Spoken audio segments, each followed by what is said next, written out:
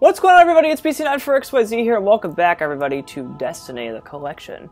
We're going to continue. We just uh, explored the tower for a little bit. You know, again, I apologize for having that being a short video, but there's really nothing else I could have done about that one. Um, but anyway, I just realized how big this ship is. It takes up the whole entire screen. Usually, ships don't take up the whole screen. But anyway, we're about to go ahead and start the second mission now which is down here. So yes, as you can see, for those of you who are old players looking at this, the map has definitely updated. Uh, it's been huge, really. Um, it's giant now, but anyway. Restoration. Return to fallen territory and hunt for parts to restore your ship's ability for interplanetary travel. Sounds simple enough, right? It does actually the first couple of missions are actually pretty easy. Kind of. As easy as Destiny gets, anyway.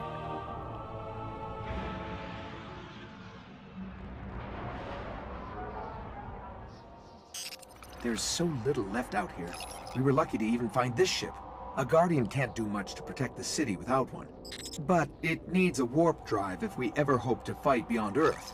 And that Cosmodrome is the only place I know where we might still find one. We survived the Fallen Ones. We can do it again.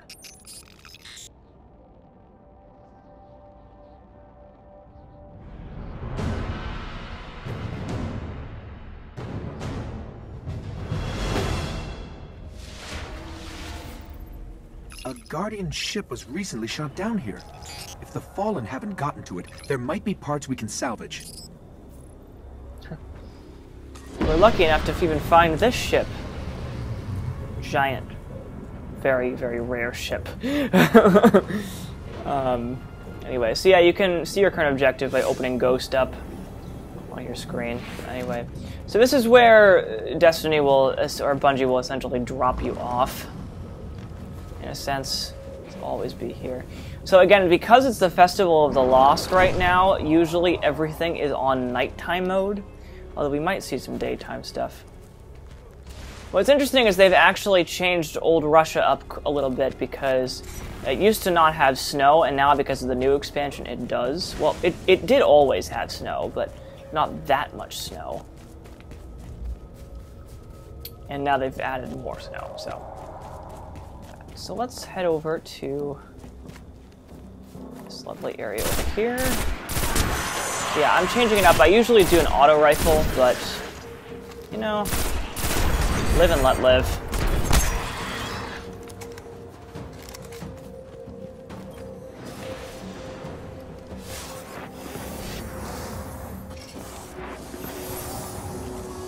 The ship's avionics are completely catatonic, but I can cull their last transmission.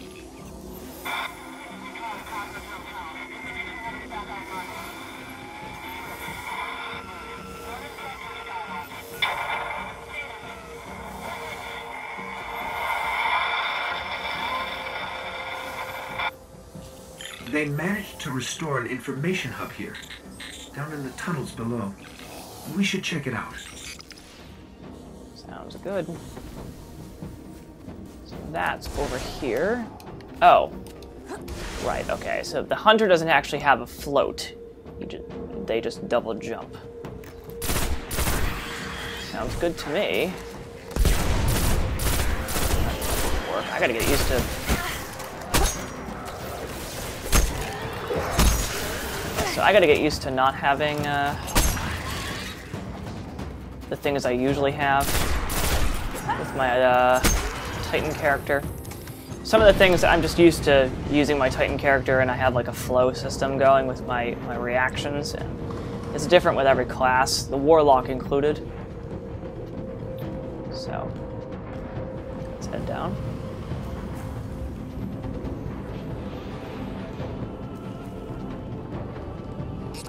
Map of the entire area.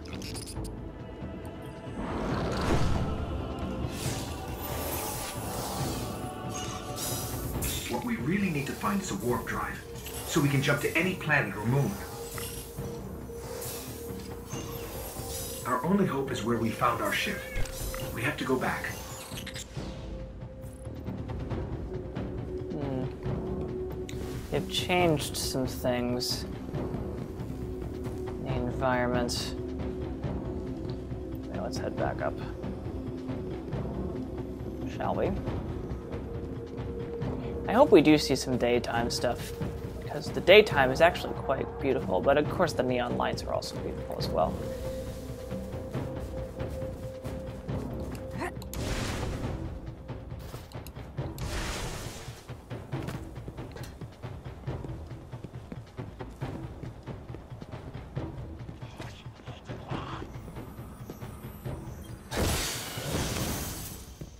Scanning for the warp drive. Bad news. It's already in fallen hands. Really gotta get used to that. I hope you're ready for this. Alright. So when you go into a darkness zone, you can't get out. In the sense of like, if you die, you have to start back at the beginning of wherever this darkness zone zone started.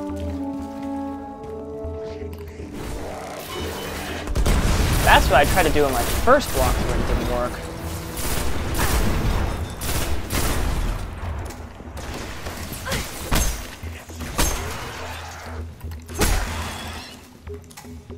And here he comes.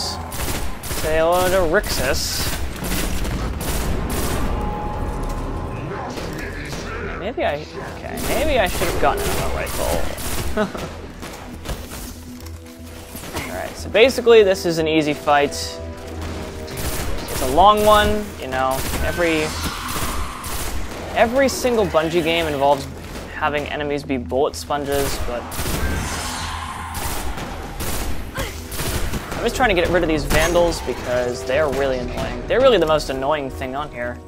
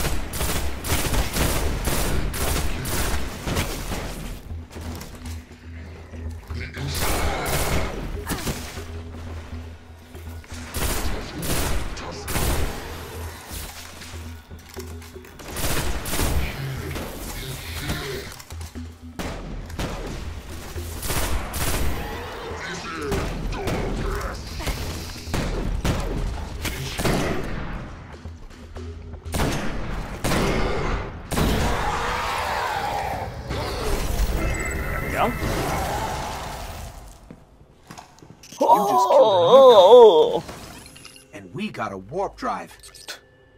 So damn dramatic. So yeah, that's probably one of the easiest fights in the whole game, but yeah.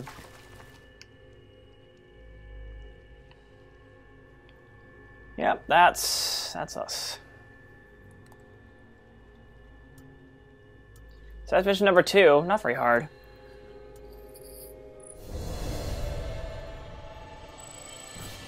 Hmm. Actually, I should go back to the tower really quickly and show you guys bounties. For those of you who don't know yet. So yeah, you'll get rewards constantly. And like I said before, the Cryptarch is available. So let's take a look, shall we? So what do we have? Okay, yes please. Yeah, and as you can see, your color scheme will change based on what you equip until you get to level 20 when, and you'll see what I mean, level 20 has um,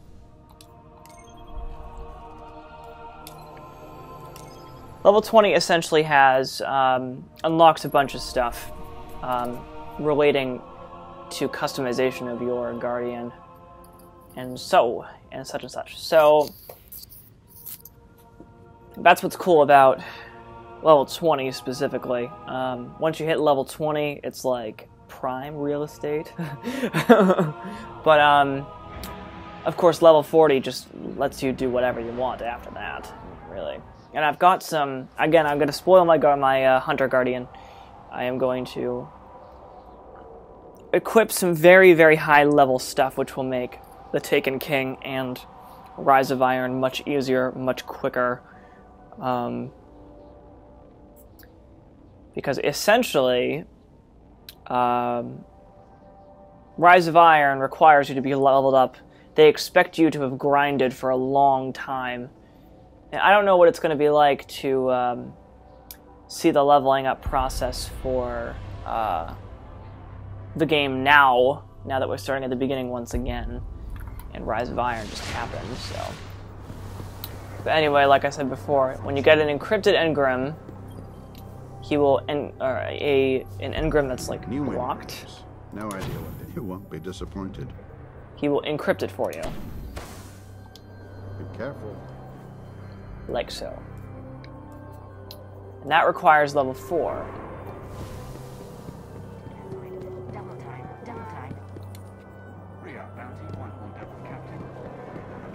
Trial begins in Old Russia.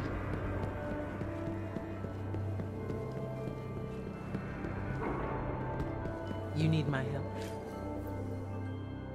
Okay. How can we help? You've only just begun your Guardian career and already you've slain an Archon. Impressive. Let's see if you can maintain your tenacity. I'm sending you back into the ac- into action. Fallen foes are strengthening their positions at the Jovian and terrestrial complexes in the Cosmodrome.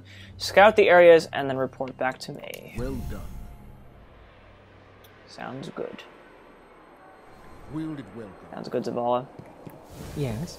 Alright, so let me actually just go back really quickly and show you guys what I meant when I said bounties. Uh, the Crucible, a lot of stuff is also unlocked to us at level 5. All the basic stuff is unlocked to us at level 5.